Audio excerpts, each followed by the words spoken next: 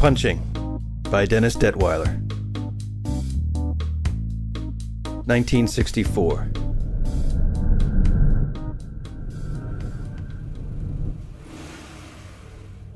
The Vega crawls up the drive to the house in the dark, and the driver, Henry Briggs, leans forward over the wheel to consider the house as he cruises past it. He pulls in next to the other cars a Mercedes, a Jaguar, a Rolls, and gets out. In the row of darkened cars, his Vega looks out of place. It's even parked unevenly, while the others are in a perfect row. He tries to make a joke out of this in his mind, but finds with some bitterness that he can't. He stops once on his way from the cars and finds himself looking on a perfect, seamless, manicured lawn which stretches out into a dark copse of trees. He wishes he didn't feel impressed, but he does. The house has changed, and in that change has only become better than it was. Briggs is a big, older man, Someone who once might have been a boxer. His features look like they had been set to drift by one too many hard punches. But the eyes above his ruined nose are small and clever. He's in a suit, the one he wears to work on Wednesdays that looks two steps too low for this social stratum. He looks as uncomfortable as he is. He straightens his tie and crosses the drive to the house. It's a big Newport house, bleached wood, big windows, dozens of rooms, manicured garden, crushed gravel drive. It is as far from the place that Briggs lives or exists as is possible. It is the end of summer, 1964. He opens the door to the sound of a hundred voices. The house is full of people, all his age, walking, talking, eating, drinking. A black man sits at a baby grand piano playing music 20 years out of date. A paper banner hangs over the gable windows in the back, covering the edge of the high ceiling. It reads Welcome, Class of 44. Briggs walks to the bar and orders a double gin and tonic, and the bartender, sensing an out of place soul, pours generously. Briggs stands at the bar, over the bar really, watching the crowd, sipping the drink. By 1944 it was over. The year 1943 was when his life was ruined, and that thought, he thinks, is just as useless as any other, even though it is true. He drinks to drink. Briggs has killed many people, he lost count by 1944. By 1944, when he was in Italy, it was already too late, and he hasn't really tried to puzzle it out since then. The last killing was two weeks ago. A woman who was 26 years old by her passport. He doesn't feel bad about it. Something was in her, using her. Something from outside. He put a bullet through her face and she launched herself at him struggling and cackling black laughter while ooze that looked like butter gone over poured out of the hole through her head. She wrestled like she was twice her size. She was so strong Briggs barely had time to pin her arms down with his legs and bludgeon her, it, to death with a heavy bronze lamp. Then he burned the building to the ground. Killing wasn't all that bad when you learned what was really going on. Death was a rule of the world. Everyone knew that. It was how systems renewed themselves. It was beautiful in a way. Killing these other things, though, these other things didn't die on their own. Something in reality had slipped a spoke and they ran on and on. It was up to the group to punch their ticket. He had done many such things for the group since 1943, since any semblance of normal life had ended. No one knew what the things were, really. He had heard some in the group go on and on about elder ones and cycles and elliptical orbits of dead stars that ruin the world every 900 million years. He'd seen reports on time gates and ray guns and things that, if they slipped past the net the group had raised, could destabilize the whole world. Once, he saw something huge and gelatinous and covered in a thousand eyes crawl up from a hand carved pit in Peru, struggle over the ledge, and consume a tied up goat with the avidity of a spider feeding on a fly. There were worse things. When he sees Pete Martin, his mind drifts back. He can't help it. He's like a goddamn schoolgirl. Martin, his friend, the man he most admired, the guy he had followed around like an idiot, the man who introduced him to Commander Cook, well, indirectly. Martin looks like what he is rich.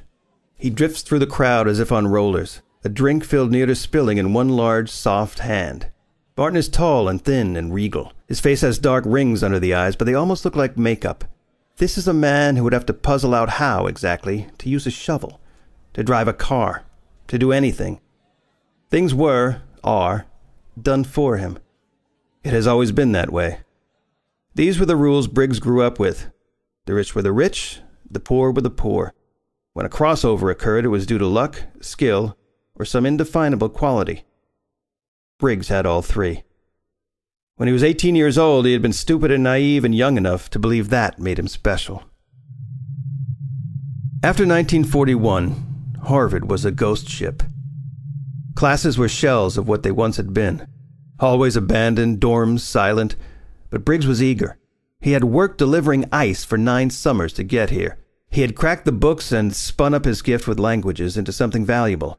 People had noticed. He didn't look the sort that could translate Bing Crosby into Greek, but he was. His father had it. He had it. He could hear something once and repeat it perfectly. His dad called it the magic ear. But Briggs had something more than that catgut salesman ever had. He had a hunger for something more than a two-room walk-up in Mercator. He was more than a man who smiled and looked down when someone yelled at him over a ten-cent shortage. He was a person. He wanted to be important. The boxing helped.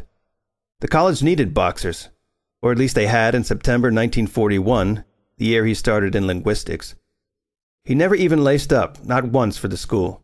There was no one to box. Didn't matter. He didn't like fighting. He was just good at it. And only then because of his size and reach. There was no real skill he could discern in beating another man senseless. The school was abandoned. The war had siphoned nearly everyone away. Those who remained were scrawny, sickly, or had something obviously wrong with their anatomy. Briggs and Martin stood out. Briggs, of course, was in his prime, huge and imposing and dangerous looking. Martin looked normal for Harvard, young and rich and content, with a Cheshire smile on his face all the time like he was in on the big secret. No one had called Briggs up. There was no letter, no draft notice, and he'd be damned if he would volunteer after what he did to get here. If they came for him, that was one thing. If not, he'd get his damn degree. He could give a fuck about the war. He had his own war. It had been that way since he returned to class from the 1941 Christmas break. The break was dire. Cousins and uncles and friends and others talking about joining up, about reporting in, about turning up for the Navy because that was the safest, or the Army because it would all be over even before it started, or the Army Air Corps because hell, then you got to fly. Even then, before Guadalcanal, no one wanted to join the Marines. Briggs had nodded and smiled and excused himself. And when the time came, he slunk back to Harvard and kept to his books, and kept his head down and tried not to talk to anyone outside the rarefied life of languages. He half expected a letter any day, a plain letter typed by some fat woman in an office in Washington, calling him to line up and be shot. It never came. Instead, one day he looked up in hieratic and pre-hieratic and saw Martin sitting there in a row of empty seats, watching him. Peter Martin smiling. Martin was part of the club. If you had to ask which club, you would never know. The two struck up an unlikely friendship over the fall of 1942, back before Briggs knew what Martin was really thinking. Briggs, for his part, didn't care. He simply wanted in the club, so of course he never spoke about it. The club made men. It manufactured leaders, presidents, generals, it created greatness from nothing and flung it out into the world. You can't understand what it's like in Newport, Martin would say over deviled eggs and drinks at the box, and Briggs knew he was right and hated that feeling. He couldn't know what it was like to be secure in his own skin, to be waited on, to feel the pull of others as they desperately tried to get your attention. Briggs believed Martin saw him as a project, as a possible future member of the club, which, like the university, had emptied. It still held its rights, but with only a fraction of the membership. No one had been punched, given entry to the club since the war started. There were rumblings that this famine of membership would not last. Briggs made Martin his project. The lonely rich kid would become his friend, and in time, it happened, for reasons which would become clear later. You're right. I can't understand it. So show me, Briggs said. That summer, Martin did. Peter's father was Edgar Martin, an ex-Navy man who had inherited something terribly important, although no indication of it could be detected in their house on Nantucket. The old man looked like someone had smashed his head down between his shoulder blades with a shovel at some distant point in the past. When he turned to face someone, his whole body swiveled at the waist. His eyes were large and liquid behind thick glasses held with solder in a gaudy gold-wired frame. It was his only real point of extravagance, besides his family. Even in the summer of 1942 on the island, Mr. Martin wore the outfit of a wealthy bookkeeper, with a full wool waistcoat and all. He had warmed to Henry Briggs after bombarding him with a bevy of questions which seemed designed to embarrass or confuse him. They had done neither. Briggs had answered honestly, while Peter looked on with amusement, perched on the edge of an ancient, weather-wrecked wood chair in chinos and sandals. The test, whatever it was, had been passed. Edgar Martin now called him Henry, and was candid with him in a way he never seemed to be with his own son. Briggs was certain he was getting somewhere. Still, he had no idea where. The summer dragged on, and as the world burned, Henry read, slept, ate, and slowly changed color, plotting to find his place in a future where people would look to him and not away. The night in August when he ran into Edgar Martin in the rambling house was the first indication that he should have been paying more attention. You seem like a good boy, Henry, and I don't want you to take this the wrong way, Edgar said, holding a glass of milk beaded with moisture looking out a window on a black beach. Sir, Henry said, pulling the robe tighter. Barton hasn't tried. hasn't done anything strange that you would think strange. The question fell on the ground and silence followed it. No, Briggs finally replied, though he had no idea what they were talking about. Well, good, good. I think you might be a good influence on him. Try and keep him out of trouble. Briggs went back upstairs and didn't think about that conversation again until after it all fell apart. Someone is talking about LBJ again, and Briggs looks up from his third glass to find Martin staring at him, just as they had met, eye to eye for the first time in 1941. Briggs widens his smirk into a smile, one that feels completely fake, and waves. Martin excuses himself from the beautiful woman who is speaking at him and walks over. Henry! How the heck are you, man? Martin says, smiling, hand extended. Briggs stands from the stool, wipes his right hand on his trousers, grabs what seems to be a handkerchief from his jacket with his other hand, and turns. He shakes hands with Martin and glances around the room. No one sees the 38. The first bullet catches Martin in the cheek, leaving a pockmark the size of a cigarette burn, and the smile that contented smile hardens into a thin-lipped grimace as the powder flash burns his face. Something red, wet, and gelatinous launches itself from the back of Martin's head, landing on the ground like a dishful of water flung out the back door. Martin falls forward, collapsing in a heap like a marionette with its strings clipped, folding in an unnatural position. Briggs empties the gun into Martin's slumped body. Four more rounds at close range in his neck and back. Martin bounces on the ground with each hit convulsing, then he slowly slides to the right and rolls over, covered in black and red viscera and blood. His blue eyes are tinged with yellow. Peter Martin, whatever was Peter Martin, is gone. When Briggs looks up, his ears ringing, the room is empty, like a magic trick. He sits back down and sips ice water. In 1943, Briggs felt he was close. They had skirted the basics of the club, how one was punched, how one might be admitted. Martin talked about it now, though never by name. He talked and talked about how Henry might fit in, how others like him had gained membership before. He told stories of where they ended up, the glorious achievements of those who were punched.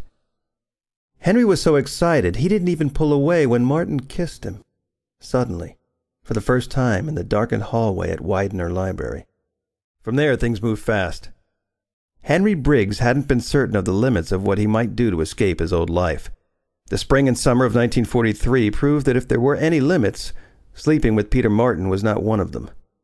He never considered whether or not it was something he really wanted. At the time, it just seemed to happen. It failed, as you might imagine, suddenly.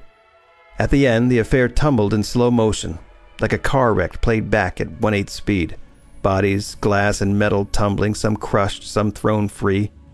When Henry staggered to his feet again, he had been dismissed from Harvard. Peter disappeared into the moneyed escapes his family had prepared for him. Henry's hopes for school, for the group, vanished like a fog. He was left a survivor, the wreck of his life, wandering. It was three months later, and he was hauling ice again when Edgar Martin's car pulled up. When the door opened for Briggs, he got in without a word being exchanged. My son is ill, Edgar said. We have known this for a long time. Henry said nothing. I would appreciate if nothing was said of this.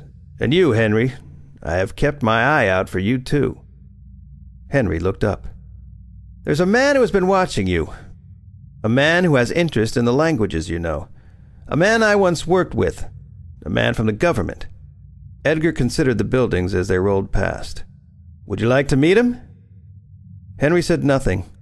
They kept driving. Commander Cook sat in the darkened library of an old house, waiting outside town with a fat folder full of horrors to snap Henry out of his life forever. And now he is here, in 1964, being shouted at through a bullhorn by police. Henry Briggs snaps the revolver open, dumps the shells, and reloads with blunt fingers. One round, two rounds, three rounds, four. He has no idea what might happen when he closes the cylinder. But it strikes him now. The humor of it. The cylinder clicks shut. He brings the gun up. He pictures the bullet entering his head and going on with his life as if nothing has happened, of his smile widening, and the horrors within him let loose on the world. Like the woman, like the darkness at the edges of science, the blackness in him which people like Peter brought out, mocked, made happen, the feelings in him which were not right, the work he had wrought because of them. He pictures an end and finds a comfort there. Everyone everywhere dies.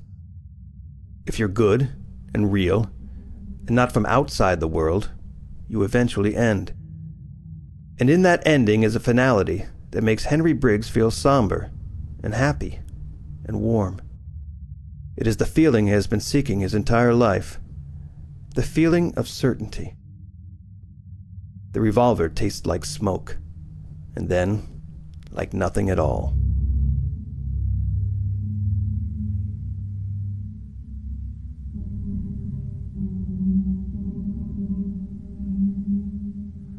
Punching was read by Stephen Brewster. Production by Chad Pfeiffer in association with Witch House Media. Punching appears in the collection Delta Green Tales from Failed Anatomies, published by Arc Dream Publishing. Copyright 2014 by Dennis Detwiller.